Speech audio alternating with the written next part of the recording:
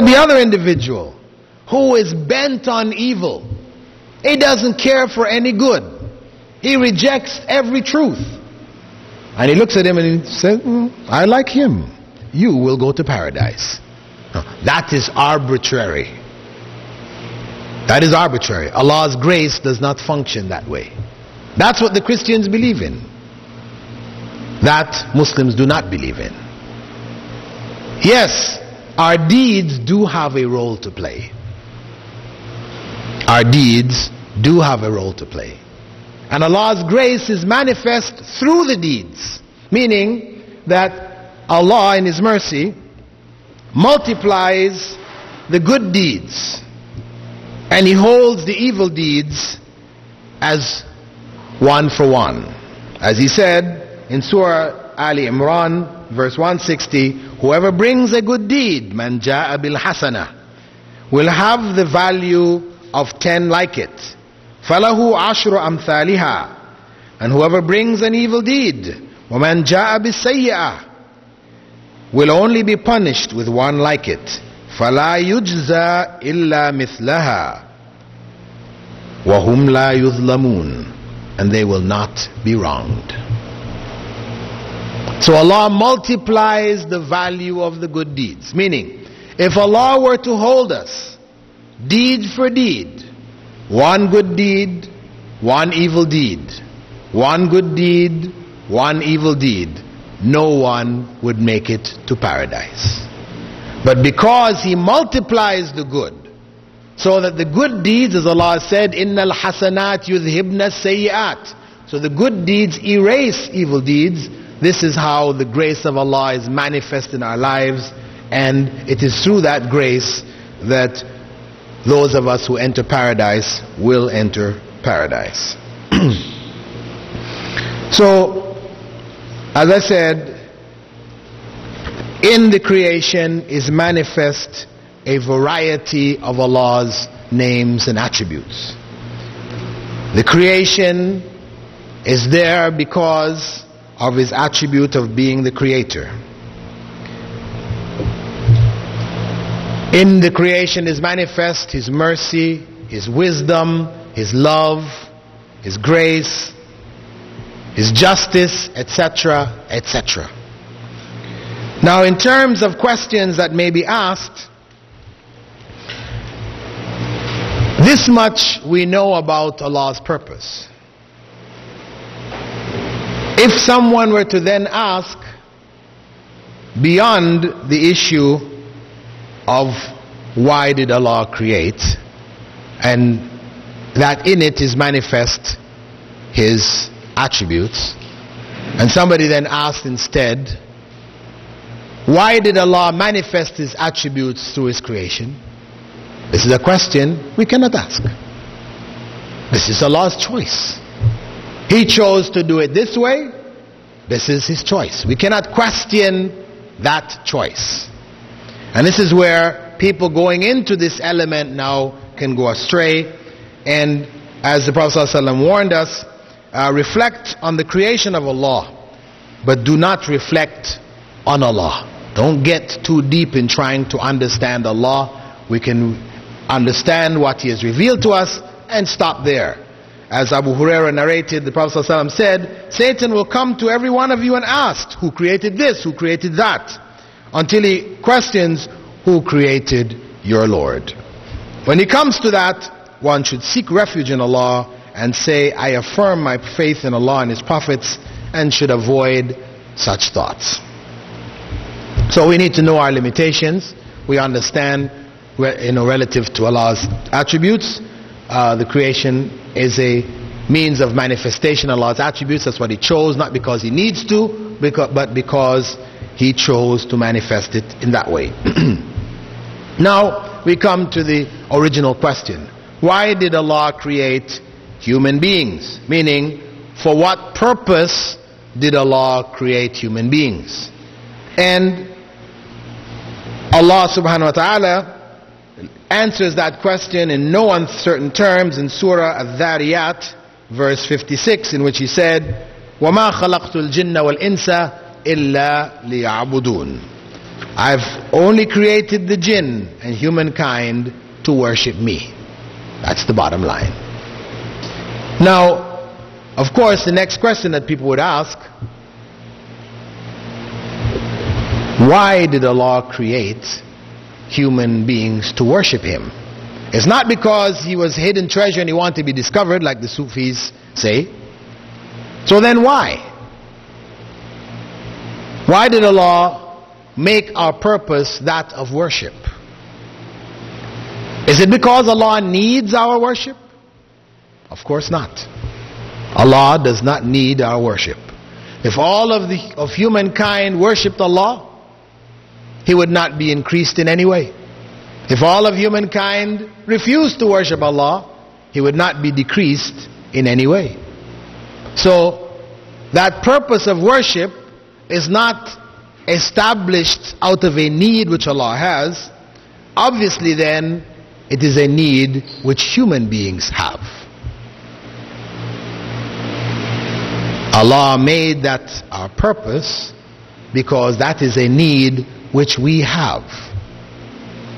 We were created initially in paradise, placed in paradise. And that is where our end is supposed to be. The way to get there is through the worship of Allah. So worship is a means which Allah has given us to help us get back to the place for which we were created. Now, one may ask the question, what then is the meaning of worship in Islam? Because worship uh, is an old English uh, term which means to honor. Therefore, when one honors a thing, it is referred to as worshipping that thing. Movie stars are referred to as movie idols. You know, people honor them. They make pictures of them, put them on their walls. You know, their, their reverence that they hold for them becomes a form of worship.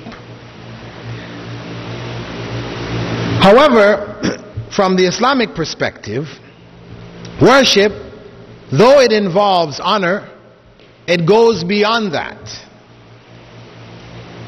It involves honor and glorification as we find in the verse, فَسَبِّحْ بِحَمْدِ رَبِّكَ وَاسْتَغْفِرْ فَسَبِّحْ This is glorify the praises of your Lord. So the idea of glorifying God, honoring Him, this is a part of worship. What all of the creation is involved in that. Allah says the seven heavens and the earth and what is in them glorify Him. And there is nothing which does not glorify His praise. However, you do not understand their glorification. So this is something which all of human and non-human existence is involved in anyway. When we go to look at the issue of worship from the Islamic perspective, we need to go to the Arabic. The Arabic term for worship is what? Ibadah. And ibadah, this term ibadah comes from an Arabic term which is abd, which means slave. Slave. So the concept of ibadah is rooted in the concept of servitude, of being a slave. So the, the worship of Allah is fundamentally submitting to the will of Allah. That's the essential meaning of worship. Submitting to the will of Allah. And this we can find in the distorted scriptures of the Christians. We can still find it there in Matthew 7:21 where Jesus is quoted there as saying, "None of those who call me Lord will enter the kingdom of God, but only the one who does the will of my Father in heaven." Doing the will of God. This is the essence of worship. Doing the will of God. Now, doing the will of God is basically obeying God's commands. This is where the will of God is manifest in the instructions which He has given, whether it's in the Torah, whether it's in the Injil, whether it's in the Quran, or the other books of Revelation, the instructions which Allah has given, this is the expression of His will. What does Allah will for us to do? What does He wish for us to do? That in fulfilling what Allah has asked of us, in this lies the worship of Allah. As also quoted, can be quoted from the scripture, in spite of its distorted form, we can hear echoes of that in Matthew 19, 16 and 17. Now behold, one came and said to him, to Jesus, Good teacher, what good things shall I do that I may have eternal life? So he said to him, Why do you call me good? No one is good but one, that is God. He distinguishes himself from God. But if you want to enter into life, eternal life, keep the commandments. Keep the commandments. And in Matthew 5:19, Jesus is also quoted as saying, "Whoever therefore breaks one of the least of these commandments and teaches you men to do so shall be called least in the kingdom of heaven." So, fulfillment of God's commandments, this is the essence of worship. Obeying what God has instructed. Now, some people say, well, isn't it better, Yarhamukallah, isn't it better to worship God when you feel the desire than to worship Him at these fixed times, you Muslims, you know, the Fajr, the Dhuhr, the Asr, the Maghrib, and the Isha, isn't it better to worship God when you feel that desire within yourself? When you really want to reach out to Him? When there is true sincerity there, isn't that better than to worship Him at these fixed times? You know, the common question which is raised. And when we think about it, one has to admit, yeah, it is better that when we worship God, you know, it is really truly from our heart. And that is better than worshiping God just out of the ritual, doing it at the time that he said so, in theory. So then why did Allah prescribe five times daily prayer? This is the question we need to ask. The point is that if we worship God only when we feel this sincere desire to reach out to Him, right? When's that going to happen? Once in a day? Once in a week? Once in a month? Maybe once in a year? Maybe years may go by and we never have this desire. So we don't worship God. And when is it that people really worship God sincerely? When is it? When the calamity strikes, right? This is the time when people are there, oh Allah, help me now, I need your help. You know, they're pouring their hearts out when the calamity strikes. But the reality is that those who worship Allah only when the calamity strikes are no different than the kafirs who, when calamity strikes them, even though they said there is no God, there is no God. But when that kafir finds himself, that disbeliever finds himself in that 747, 40,000 above the earth. He looks out the window and he sees one of the engines fall off. And the plane starts to go into this death dive. He knows there's nowhere out. What does he do? Oh God, oh God, oh God, oh God, oh God. You know, there it's coming from the depths of his soul. He's calling out to God because nothing else is going to save him now. Right? So what's the difference in the essence between him and the Muslim who only calls on God when calamity strikes. It's no difference. In essence, there is no difference. That is why we have five times daily prayer prescribed. So others will say, well, okay, what about though if I pray, you know, a couple of times a day or, you know, Fridays, Juma, you know, I'm a Juma Muslim, or I'm a Ram- Ramadan Muslim, okay? Ramadan comes along, I'm in the masjid making up for the rest of the year. Or I do this thing which they call Jum'atil Wida. You know, I was giving some teachings about Ramadan and the things of Ramadan. And in the course of the class, one of the sisters from Pakistan, she asked me, what about Jum'atil Wida? You didn't mention that one. I said, Jum'atil Wida? I never heard of that one. Oh, what, what is Jum'atil Wida? So she went on to explain that Jum'atil Wida is the last Juma in Ramadan. Right? If you catch this last Juma in Ramadan, it makes up for all the prayers that you missed all year. Well, I said, I, I know about, you know, Tawaful Wida, you know, the final Tawaf before you leave Mecca, and Hajjatul Wida, the farewell pilgrimage of the Prophet but Jumatul Wida, I'm sorry, I can't find that one anywhere. Never came across it. Eh? It's been invented by Muslims, unfortunately, you know, as a way out, right? You don't need to pray all year long, just make sure you catch Jumatul Wida, that last Friday in Ramadan, and you're covered. Right? So what about the Ramadan Muslim or the Friday Muslim, he, he or she only comes to the masjid or only prays on Fridays. Or once in a while during the week they might make a, uh, a dhuhr. Fajr, no, no. Fajr is too much. But dhuhr maybe or, or asr or whatever. What about these people?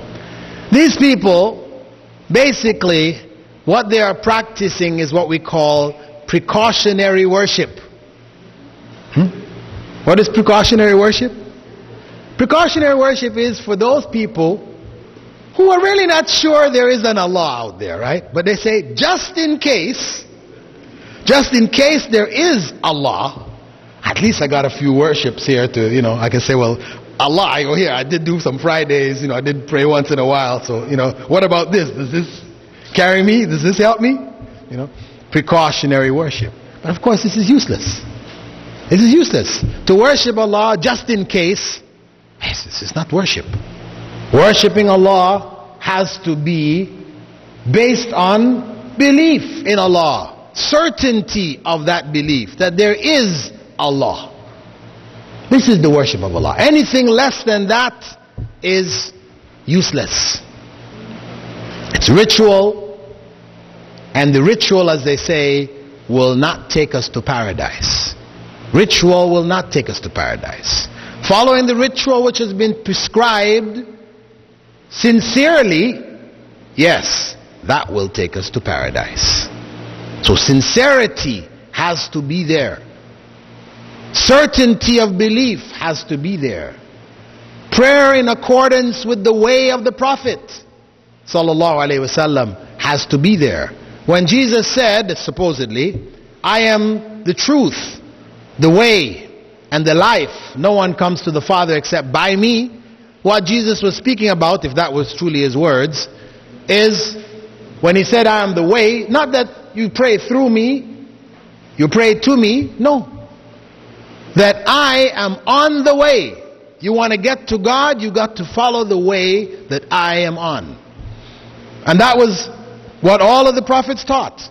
They taught their people that they had to follow their way. As Prophet ﷺ taught, you've got to follow my way. That is what we call the sunnah. This is the way. It's essential. So when we're going to worship Allah, we have to worship Allah in accordance with the sunnah of Rasulullah sallallahu alaihi wasallam. This is a requirement. This is a requirement for each and every one of us. For worship to be acceptable, it has to be in accordance with the sunnah of Rasulullah sallallahu alaihi wasallam. We spoke about that earlier. Why? Because he taught us all of the ways of worship. As he said, I've left nothing which will bring you closer to Allah without instructing you to do it. ما تركت شيئا يقربكم إلى الله إلا وأمرتكم به. There is nothing. There is no way that we can bring about which is pleasing to Allah, which Prophet Muhammad has not already told us to do it. As Imam Malik said, when the verse Al-Yawma akmaltu lakum dinakum Today I have perfected for you, completed for you your religion.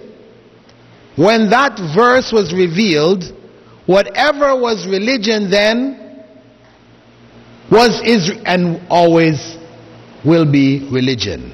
And whatever was not religion at the time that that verse was revealed can never be religion. The religion was complete with Prophet Muhammad sallallahu alaihi wasallam. So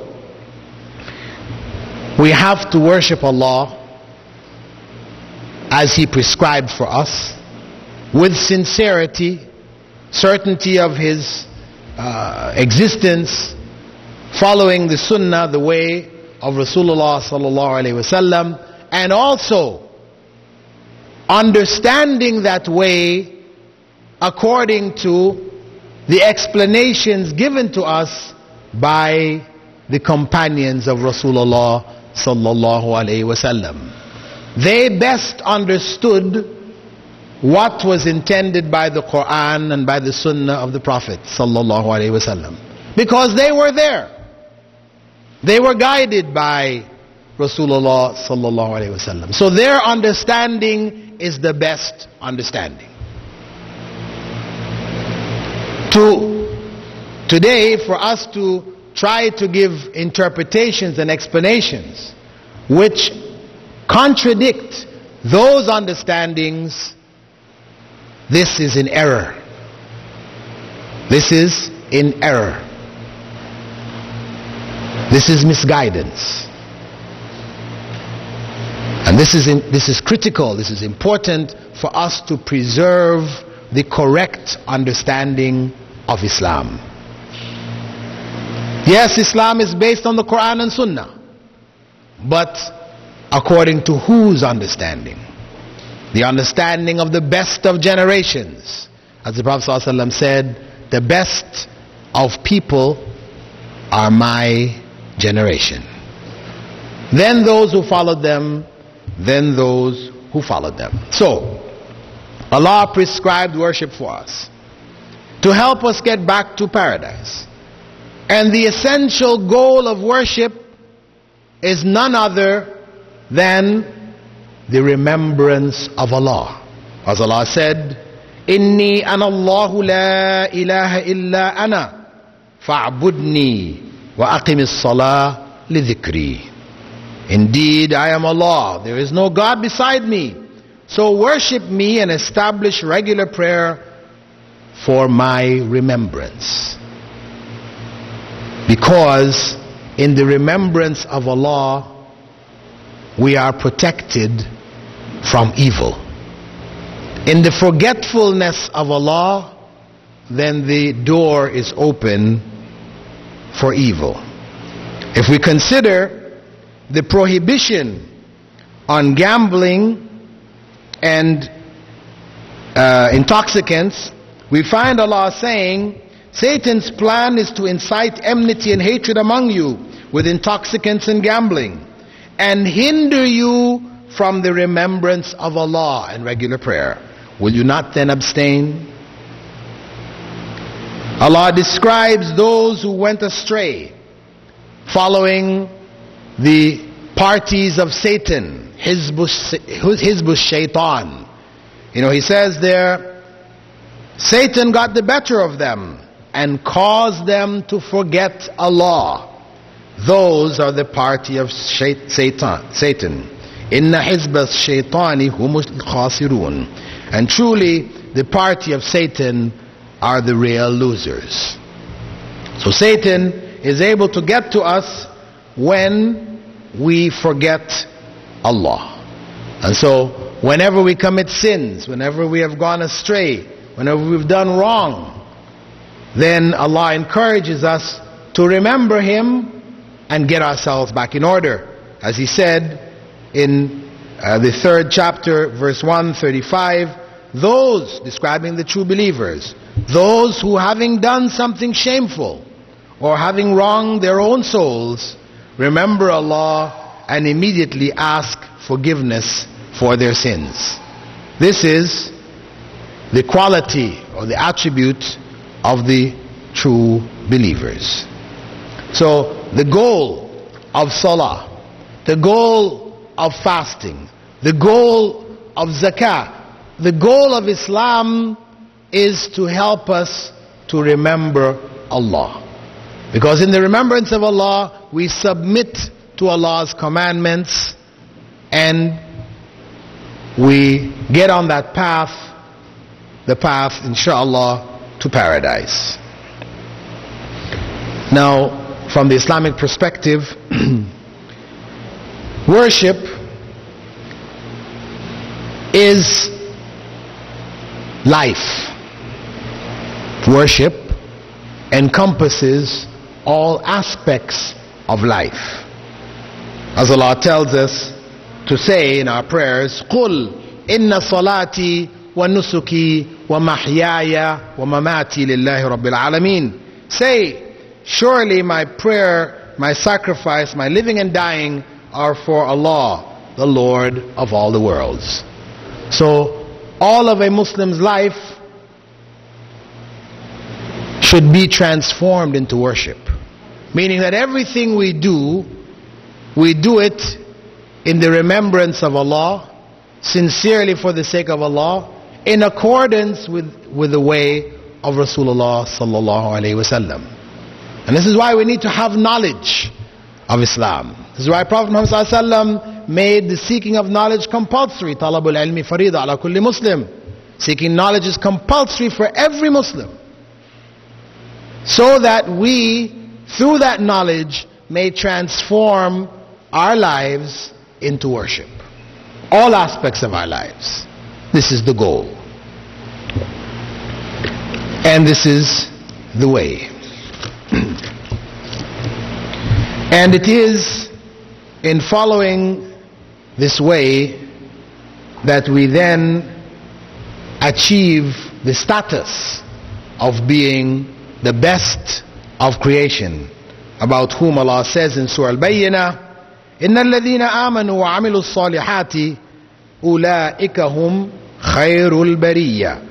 Indeed, those who believe and do righteous deeds are the best of creation.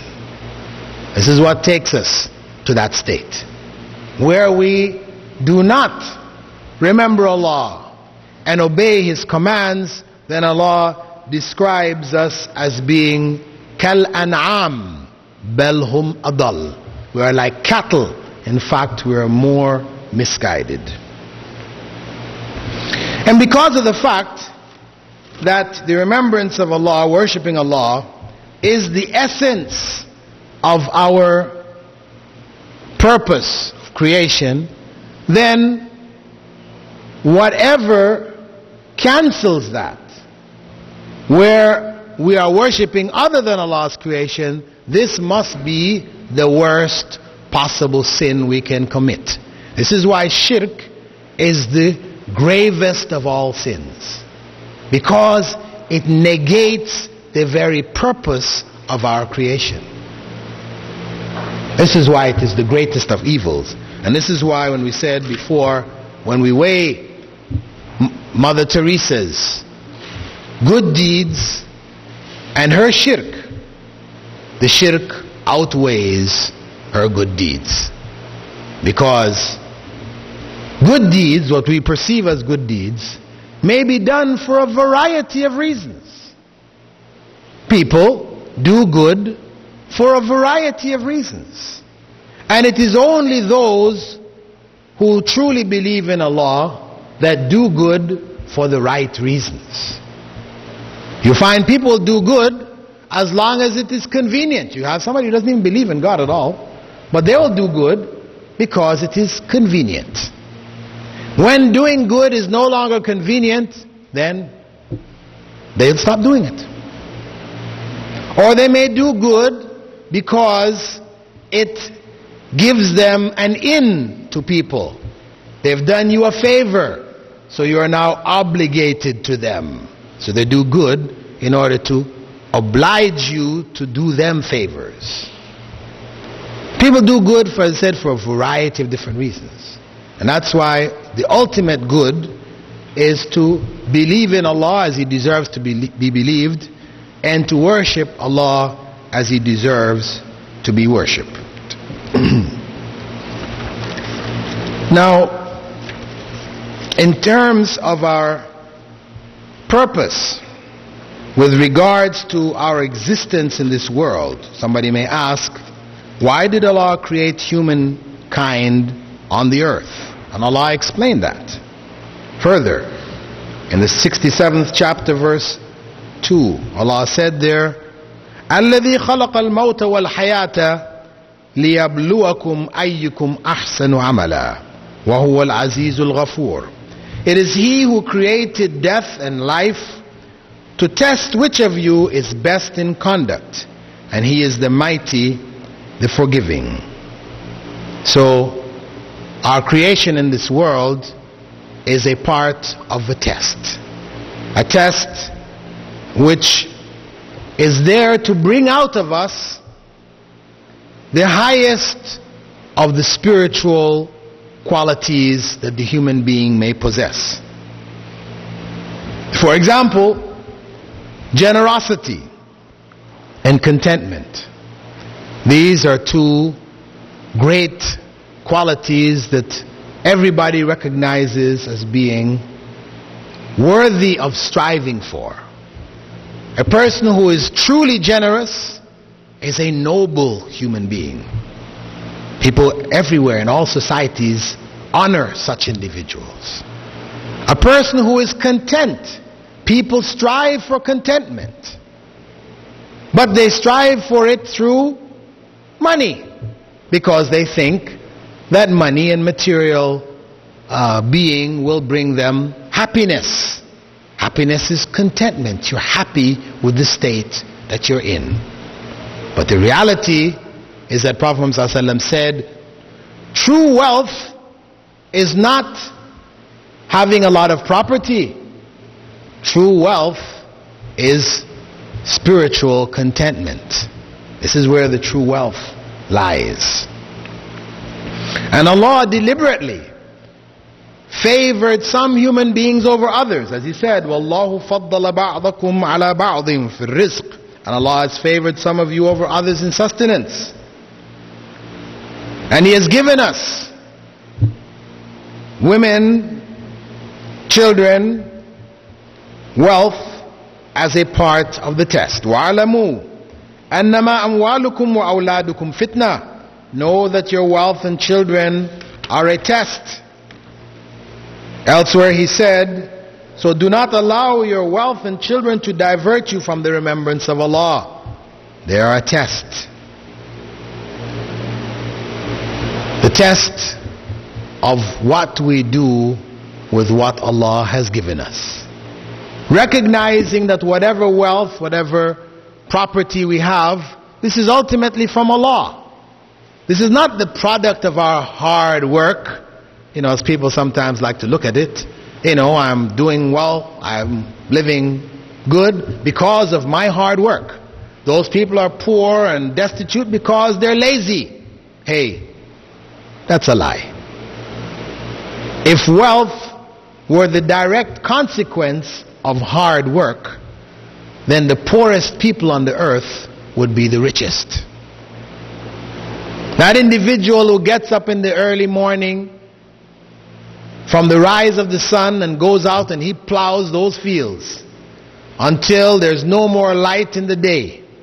He comes home, he eats, he's so exhausted all he can do is fall to sleep. Don't tell me that the individual who sits, you know, in the 50th story of this high rise who just Signs papers. He comes in a couple of days a week and the papers are brought. He signs it, puts a stamp on it, and goes out that he is more hardworking than an individual. No way. Wealth is something which Allah grants people. And we need to recognize it as part of the test. Because generosity can only grow, can only develop where some people have more than others. If everybody had exactly the same amount, how can you be generous? Who are you going to give to? Generosity cannot exist unless there is poverty, unless there is states where people have less than others. That's the only way generosity can come into being. So Allah has put others with less than us to test us will we share what we have with others. He has ob- obliged us to give zakah as a training to do sadaqah. That we will voluntarily give from our wealth for the sake of Allah. And on the other hand, we are told not to look at those above us. Because in looking at them, we will become discontent. Therefore, we should look at those below us. Because no matter what situation we may be in, there will always be people who have less than us, who are worse off than us. So as the Prophet ﷺ said, look to those below you. Not to those above you. Because in looking to those below you, it helps you to remember Allah's favor on you and you become content. Otherwise, as he said, if a man had a valley of gold, he would desire another. For nothing will fill his mirth, mouth but the dirt of his grave. And Allah forgives those who sincerely repent. If a man had a valley of gold, he would desire another. In America, they say the grass is always greener on the other side. Same thing, same concept. That is the nature of human beings, never satisfied. So the person who has all the wealth possible, that person, you wonder, why are they doing these crazy things? You see, people who are the richest individuals amongst us, the movie stars, the sports stars, all, and their lives are just filled with all kinds of craziness. Drugs and, you know, Elton John, homosexuality, and you know, all this kind of stuff that is out there. You wonder how in the world people, they have all this wealth because there is no contentment in wealth. If one doesn't understand the purpose of wealth, then you can't find contentment. The more you have is the more you want. And when you have things, you start to look at people suspiciously. When you didn't have anything, well, you know, everybody was all right. Somebody smiles at you, no problem, you smile back at them. Once you have, you won the sweepstake, you're now a millionaire. Everybody who smiles at you, say, well, what does he want? You know, what does she want? They want my money. This is why they're smiling. You know, you change. You become suspicious of everybody around you. You can't find contentment in it. There is no contentment. So, ultimately, these trials are there to develop us, for us to develop spiritually. Similarly, those people who are at the bottom, those people who don't have, who have less, etc in that situation, we develop contentment if we deal with it correctly. If we recognize what Allah has given us, then we can be content with what we have. We don't feel bound to keep up with the Joneses, you know, as they say. Keeping up. Well, the neighbor's got a new car, we have to have a new car. The neighbor got a this, we have to have a that. So and so at school, she has this. Oh, I must have that also, you know. These kids come home, they tell the parents, you know, so and so got a new this, and why can't I have one? I want to have one. This wanting what everybody else has. That contentment comes out of realizing that whatever one has, there's a blessing in it. We have more than others. When a person realizes that, then they can find contentment. And they can worship Allah as he deserves to be worshipped. And this is one of the well-known characteristics of the Muslims. I remember reading an article Uh, it had a picture on it. Uh, it was in Somalia during the, the war in Somalia, civil war, where people were killing each other and starvation, all this kind of things. All the warlords were fighting it. Then they had this picture of these American soldiers who had converted to Islam. They had built a little masjid. They were sitting in, in the front, foreground. They were taking their boots off to go make wudu. And um, the author of the article, he was asking one of them, a captain, you know, how, why did you accept Islam in the middle of all of this? This is the worst possible example of Muslims, you know, or what Islam is to be given. Here are Muslims at each other's throats. People are dying of starvation because of this, you know, brutality and all this other kind of thing. And you became Muslim. Well, what the captain said, he said, hey, you know what? In spite of the tragedy which exists here, I found that these people could still smile. They could still be happy with simple things. He said, when I consider myself going to work on the subway in New York in the morning, and you look at the faces of the richest people on the earth, you see in them tragedy. Their faces are twisted in pain, you know, going to work each day, another day. You know, people don't lighten up until Friday, right? All during the week, they're, oh, it's a pain at work, you know.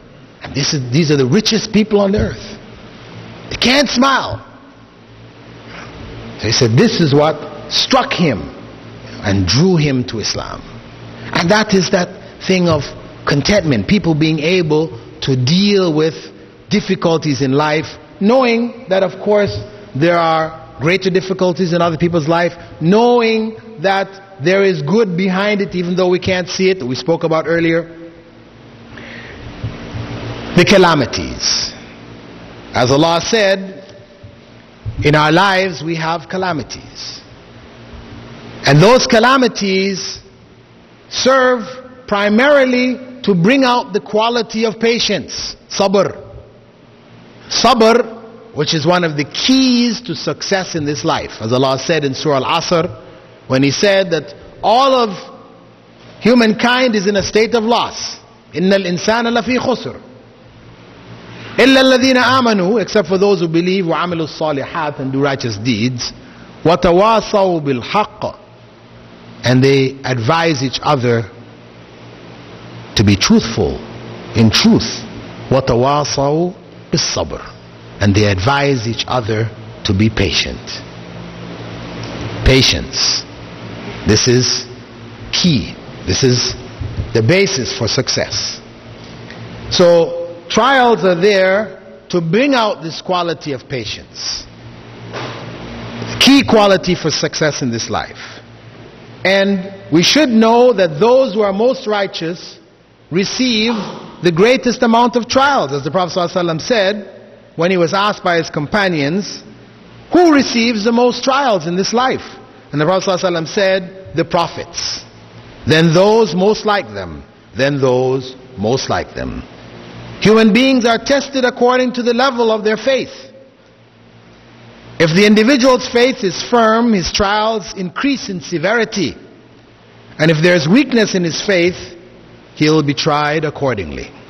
So the calamities of each and everyone's lives are tailored to their faith. What is needed to increase that faith, to grow in patience, the calamities are there for that. That is the fundamental purpose of calamities in our lives.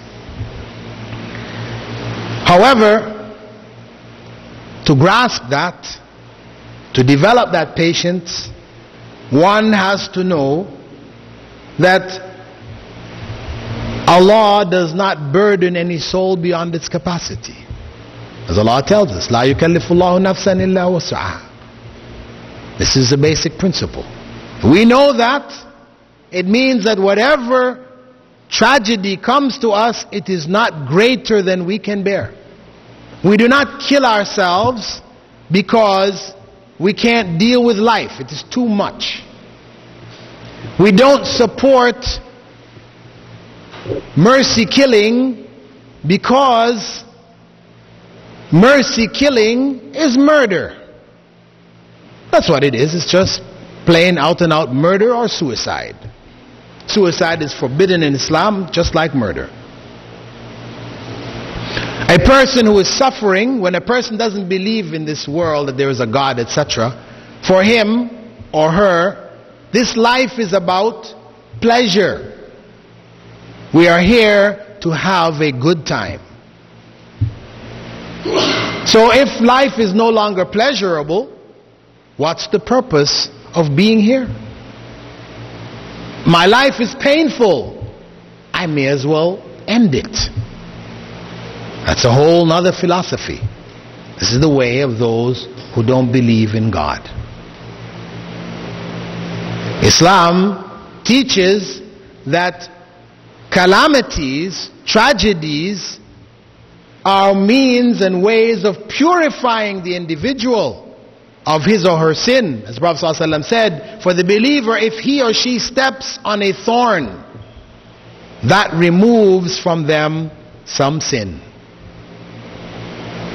If they step on a thorn, it removes from them sin, if they are patient with it. Right? Not if you curse, you step on the thorn and you curse. And this is why, for example, if a person they're walking and they trip, stumble. You don't laugh at people, you know. This is a tendency amongst us. Somebody stumbles over, trips over their feet or whatever, and everybody starts laughing. No. I mean, we should feel sympathetic, and we should again know if that person is patient with that accident or whatever, it's purification. When we meet people who are suffering in, in, in uh, illness, etc., this is purification. So we say, as the Prophet ﷺ taught us to say, Tuhurun insha'Allah. May this be a source of purification from your sins, inshallah. Very, very important concept. I know personally, after I accepted Islam in 1972, and I went down to Jamaica, because that's where I was born, looking to see if there were any Muslims. I went, of course, to see my relatives, try to give Islam to them, those who were living, still living in Jamaica. And I wanted to see if there were any Muslims down there. So my cousins told me, hey, there's a mosque in downtown Kingston. I said, yeah, take me to it. I went there and it was this huge structure with this big dome over it. I went close. Ah, a Baha'i temple. It wasn't a masjid. They just assume that if you got a dome on it, it's got to be a mosque, right? But unfortunately, it was a Baha'i temple. So I kept asking around till finally I found a masjid, a little masjid in Spanish Town. And uh, it had been built by this brother who was originally, his four parents had come there uh, from India. And they had maintained their Islam from the time of slavery on down. And he had set aside a portion of his land and built a masjid there. And from his dealing with other Jamaicans, etc., people impressed by his kindness, his gentleness, they had accepted Islam. He was a little source of a Muslim community right there. But when I came and I met him, he was dying of cancer. His body was cancer ridden. It had hit, you know, the major organs and he was suffering. Serious pain. He couldn't make it to the masjid. We would be in the masjid and you'd hear him trying to control it, but you know, it caused him to scream out. Couldn't control it. Pain was so severe.